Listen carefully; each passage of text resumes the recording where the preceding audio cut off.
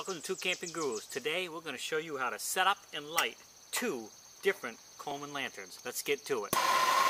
Welcome to Two Camping Gurus. If you like camping in the great outdoors, you are in the right place. Stick around to the end of this video, your free ebook and pre-trip checklist to make sure you and your rig are ready for the road. Now, let's get into today's content. Alright, so you have purchased your Coleman lanterns and now you want to know how to light them. Well, I have two different kinds here and I'm going to show you how to do it. However, this stuff is not needed and we're going to show you how to set each one of them up and how to light them. One of them has electric ignition and the other one you have to light with a match. I highly recommend you do not use a torch. The one without the electronic ignition, you can see in this particular one here, comes in two pieces and of course your tank. The pieces do not really fit together when they are not assembled. There's no really way to put it on like this one here. But to put it together, you're just going to take your tank. Uh, it's very simple. There's really not much to this. You're going to insert the pin in the center of the tank, press a little bit to get the thread started, and then just crank this on so it's good and snug. You don't have to over tighten it, just snug it up. And then you take your tank and it'll sit in the provided base that came with your lantern.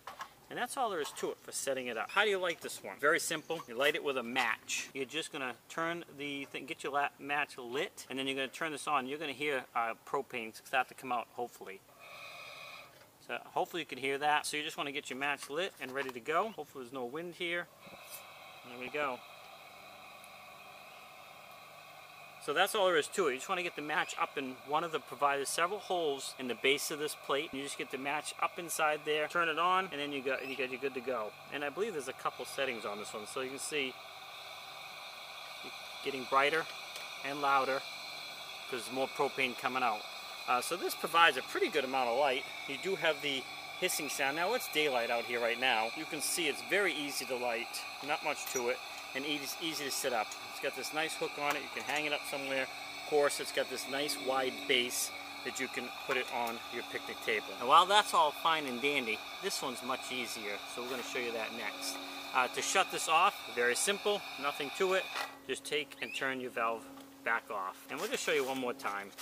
I got a little bit of a breeze here. My match lit, all right. And now I'm just gonna get it up inside. You can see the match is lit, hopefully. Turn it on. There you go. That's the lowest setting. You can go up from there. So we're going to go ahead and shut this one off and show you how to set this one up. So for this one, you're not going to need the matches, which is great. I really like this one. It comes stored like this. The base does fit on it nicely. So you can store it away much easier than this unit. You can hang it, set it on a shelf somewhere, and you're good to go. But to set it up, you're just going to pull it out of the base. And as far as this goes, it's the same thing. You got that pin. You're going to insert in the center of your tank, press a little bit, start threading your threads. You just screw it on the rest of the way. Again, snug. Don't force it. Don't over tighten it. Don't leave it loose. Snug it up. And then this tank also will fit in this base here. Now incidentally, I left these little tabs out, but when you're storing it, these tabs fold in. So it takes up much less space. But for when you're using it, pull these things out.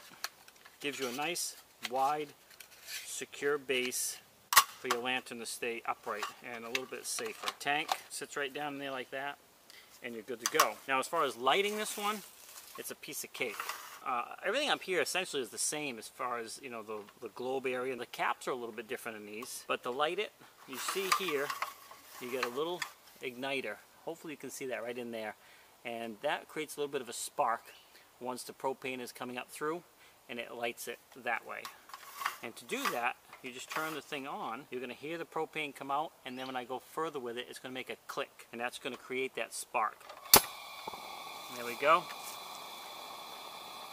That's all there is to it. And then you can set your setting. Turn it way down, very low, or to shut this one off, same thing, take it back to off. So again, to light this one, you turn your propane on, make it click, put it past the light, it'll create that spark, and you fire it up. It fires pretty much on high by the time you turn it on there. Then you can turn this thing back to the setting you want. And you can turn this on pretty low, really. That's very, very, so you have a little bit uh, better control on the light output of this particular one here. So that's really all there is to it. So if you've recently bought a lantern, if you have a match lit kind, you light it like I showed you with this one.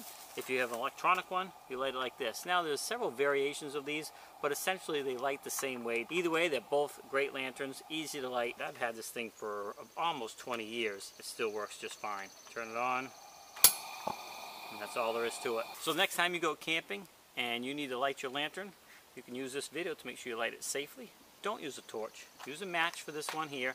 And of course this one here comes with its own igniter. Thanks for swinging by Two Camping Gurus. Please like, subscribe, comment. If you have any questions, leave a comment down that section. Uh, stay tuned for next week. I think we're going to do another video on legacy food products and see if we like the flavor of another one and show you how to cook it and set it all up. It's pretty easy to do. Uh, don't forget to swing over to our website, twocampinggurus.com. If you haven't already, don't forget to click on the link down in the description for the pre-trip checklist and ebook to help make sure you and your rig are ready for the road.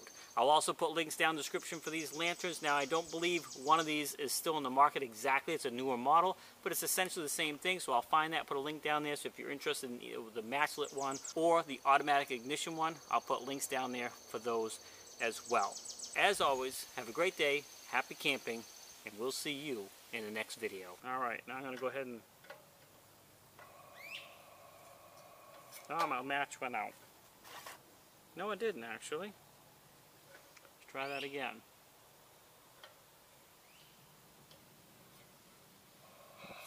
There we go.